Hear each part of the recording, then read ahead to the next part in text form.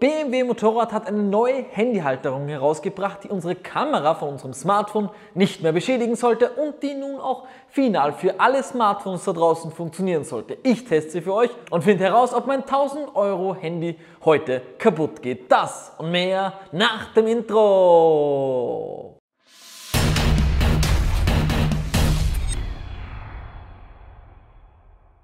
Grüß euch, mein Name ist Tom und das ist motochecker.at, die Motorradvergleichsplattform im Internet und heute ein Thema, was diesen Kanal schon länger begleitet. Wir haben getestet SB Gadget, wir haben getestet Quadlock, wir haben all diese Handyhalterungen ausprobiert. Sie sind teuer, sie funktionieren nicht für alle Smartphones und vor allem das Schlimmste, sie können eure Handykamera kaputt machen. Denn wenn ihr mal euer Handy schüttelt, dann hört ihr, wenn ihr ein Handy habt mit einem optischen Bildstabilisator, ein kleines Klackern. Und dieses kleine Klackern bedeutet damit, dass ihr sie nicht auf den Quadlock oder SB Gadget Halterungen montieren solltet, denn da kann es sein, dass euer Smartphone danach nicht mehr richtig funktioniert, also die Kamera.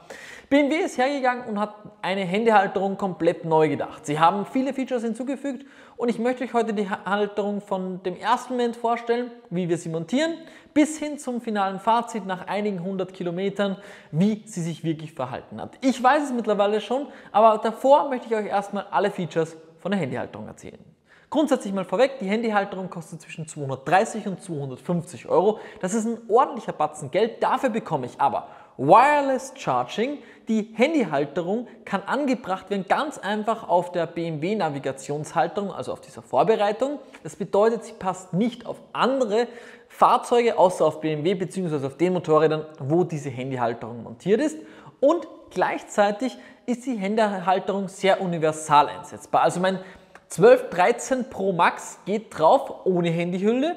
Die kleineren Handys sind auch in Ordnung. iPhone SE habe ich aber zum Beispiel nicht montieren können, weil das dann einfach von der Form her zu klein war. Also eher ein großes Handy montieren, fällt dadurch auch leichter und damit sind wir auch in der Kategorie, wo die optischen Bildstabilisatoren verbaut sind und das kann dann auch wirklich gut navigieren. Also die wichtigsten Eigenschaften kennt ihr jetzt. Wir gehen jetzt mal ans Montieren und ich zeige euch, wie einfach das wirklich geht bei der Halterung. In den 250 Euro sind im Endeffekt nur diese Plastikhalterung enthalten. Die gehört auf die Navi-Halterung von BMW, die nochmal extra zu kaufen ist. Aber wenn ihr die schon habt, könnt ihr ganz einfach das dazu kaufen und schon seid ihr dabei. BMW-Schlüssel, anstecken, ganz einfach, aufsperren, Sicherungsstift ziehen hinten, unten einhaken und dann oben einhaken. Sicherungsstift wieder rein, Zündung wieder abschließen und schon, oder Zündschlüssel nehmen und schon ist das im Endeffekt montiert. Grundsätzlich war es das Ganze mit der Montage bis auf euer Smartphone. Das könnt ihr dann ganz einfach nehmen, nach unten ziehen und einheften. Bei meinem 1213 Pro Max, da braucht es die Hülle weg, weil mit Hülle ist es dann zu groß, ohne Hülle geht es. Ihr könnt es aber auch kleiner einstellen und dafür müsst ihr einfach euer Smartphone nochmal rausnehmen oder es ist noch draußen und dann könnt ihr ganz einfach, hier unten ist ein Schrauber, an dem dreht ihr und an dem könnt ihr sozusagen diese zwei Einstellmechanismen direkt justieren für die passende Größe von eurem Smartphone. Wireless Charging ist dann bereits automatisch aktiviert und dann leuchtet hier unten ein grünes Lämpchen und euer Handy ladet auf. Ja Freunde, jetzt kennt ihr alle Features, alle Funktionen von der Handyhalterung. Jetzt braucht es nur noch einen Real-Life-Test. Wie schaut es aus? Funktioniert es oder funktioniert es nicht? Das finde ich für euch heute heraus und ich bin mal richtig gespannt. Denn klar ist eins, wenn die Vibrationen zu stark sind, dann wird die Kamera Game Over gehen. Und ich bin mir auch noch nicht sicher, ob sie bei mir Game Over geht. Falls das so sein sollte, werde ich es natürlich jetzt transparent mit euch teilen. Falls ihr aber diese Handyhalterung habt und dann länger damit fahrt als ich, ich kann nur ein paar hundert Kilometer damit fahren, dann schreibt unbedingt auch eure Meinung in die Kommentare, mit welchem Motorrad, welches Handy, was das Problem war, nachdem ihr diese Halterung benutzt habt.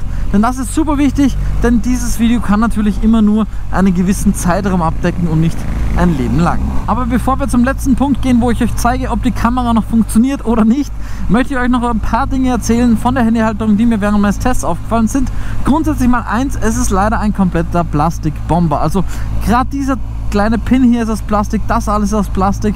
Und was mich auch stört, es gibt keine finale Verriegelung. Es hält einfach so zu, aber ich kann nicht irgendwie einen Regel zuschieben, um sicher zu gehen, dass es nicht aufgeht. Ich kann ja, also ich hatte immer die Angst, dass es mir aufgeht oder sonst irgendwas.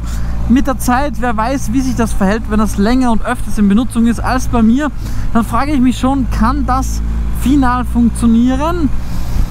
Das wird leider auch nur die Zeit zeigen. Im ersten Moment denke ich mal so, ja, es ist gut, es funktioniert bei mir, aber ob das auf 15, 20.000 Kilometer läuft, bin ich mir nicht so ganz sicher. Aber ich muss ehrlich gestehen, es gibt ein Feature, das feiere ich so abgöttisch, weil das einfach abgöttisch zum Feiern ist und das ist schlicht und ergreifend das Wireless Charging. Ohne Spaß. Schön integriert, ohne dass es wirklich stört in der Optik und vor allem voll funktionsfähig. Mein Handy ladet permanent, ich kann ganz normal navigieren und brauche mir nie Sorgen machen, dass mein Handy der Strom ausgeht, wenn ich bei der Navigation irgendwas mache. Und auch was, was alle Offroad-Fahrer unter euch wissen sollten, BMW schreibt in der Bedienungsanleitung, dass das Ganze nicht auf Offroad-Pisten getestet werden soll bzw. benutzt werden soll.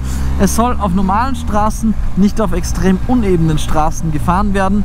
Was extrem unebene Straßen sind, hat BMW aber nicht genauer definiert. Deswegen gehe ich davon aus, dass Schotterwege eher nicht für das Smartphone gut sind, beziehungsweise, was mir auch aufgefallen ist, vielleicht auch nicht so super dann drin hält, wenn das extrem herumwobbelt. Aktuell muss ich sagen, ich bin über 200 km/h damit gefahren. Da hatte ich überhaupt kein Problem. Es hat einfach seinen Job gemacht und hat nicht irgendwie so getan, als wäre es nicht funktionsfähig. Deshalb kann ich sagen, bei mir ist nicht rausgefallen auf den normalen Straßen dieser Erde.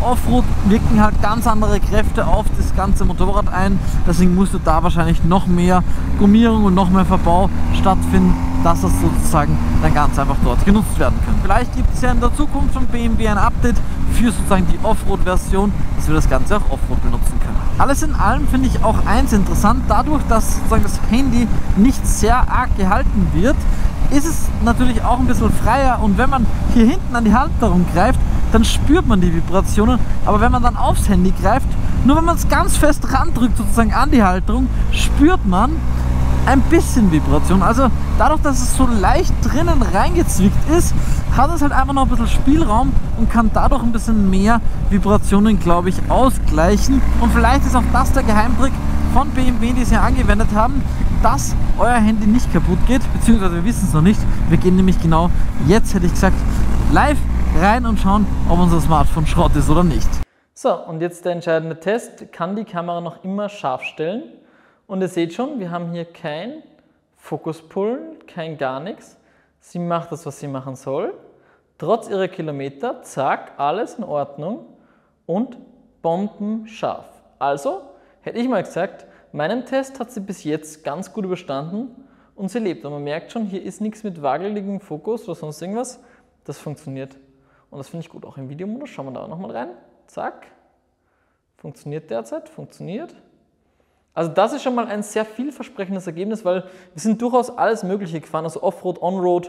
Wir sind ein bisschen Offroad gefahren, ich würde es nicht empfehlen, aber ein bisschen haben wir was gemacht und das hat trotzdem noch immer funktioniert. Also ihr seht eh, da gibt es keine Problemchen. Cool, taugt man schon wieder. Also BMW, deutsche Produktion, funktioniert. Ihr habt es ja jetzt sehr gut erlebt, es funktioniert noch immer. So, jetzt kann es zwei Themen sein. Erstens, ich bin zu wenig Kilometer mitgefahren, damit der Schaden auftritt. Zweitens, es funktioniert halt einfach wirklich. Dann muss man sagen, Chapeau BMW.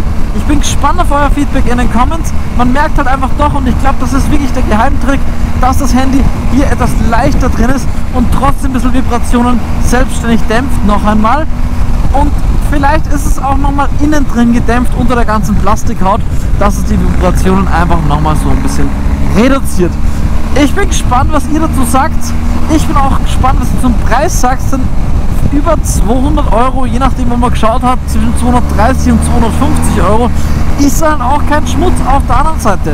Wenn ich mir dann spare, mein 1000 Euro Handy zu reparieren, na dann bitte her damit. Das heißt, Freunde, in dem Fall könnte ich eine Kaufempfehlung aussprechen, aber eben nur mit Vorbehalt. Seid euch dessen bewusst, euer Smartphone kann überall, wenn es extremen Vibrationen ausgesetzt wird, defekt werden, die optische Bildstabilisierung und dann habt ihr einen ordentlichen Scheiß beieinander. Deshalb überlegt euch gut, ob ihr so eine Handyhalterung wollt. In meinem Fall hat es jetzt funktioniert und vor allem lest auch unbedingt die Kommentare, ob es irgendwelche Probleme mit der Halterung gibt, denn das wird erst die Masse zeigen, ob das Ganze funktioniert oder eben nicht. Ich habe gesagt, wenn ihr jetzt nichts mehr verpassen wollt, dann vergesst nicht den Kanal jetzt kostenlos zu abonnieren. Mein Name ist Tom, danke fürs Zusehen, haut rein und bitte euch!